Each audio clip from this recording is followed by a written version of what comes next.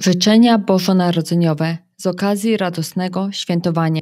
Niech w te święta Bożego Narodzenia trwały ciepło bezgranicznej miłości Chrystusa wypełni zakamarki waszych serc, napełniając spotkania rodzinne promiennym spokojem, który wykracza poza czas.